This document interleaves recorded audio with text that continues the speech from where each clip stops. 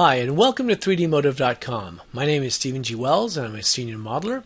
In this volume, we're going to go ahead and continue on with the work we've been doing on this Vampire Stake Launcher. We're going to go ahead and create the Celtic Cross sights. We're going to go ahead and retweak the trigger guard uh, that we created in an earlier volume to make sure the smoothing groups are set up perfectly for that.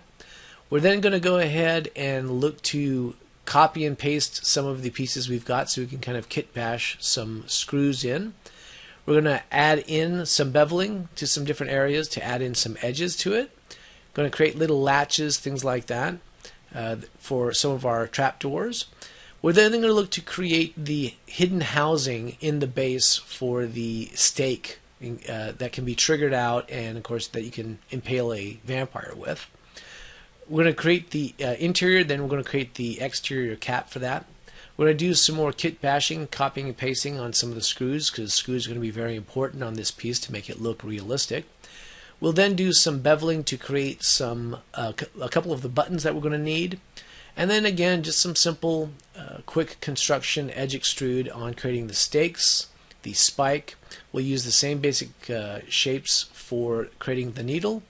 We're then going to create the holy hand grenade and the framing for that.